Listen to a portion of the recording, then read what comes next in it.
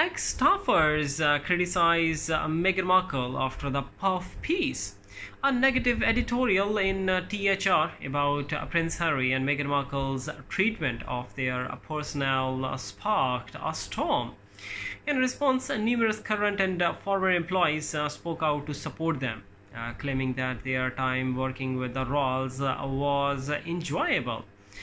Uh, other colleagues uh, who sought uh, anonymity uh, due to sensitivity of the situation responded by citing an article in Us Weekly uh, in which uh, the mother of two was dubbed the best employer ever according to the Daily Beast.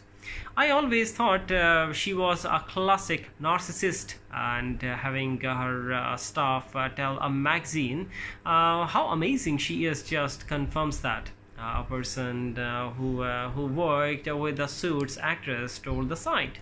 She is lovely when everything is going her way, but a demon uh, when uh, when the when, when the worm turns. Uh, the tipster revealed they are really tough to work with. The figures um, don't lie. The fact that our 20 employees have departed speaks its own narrative.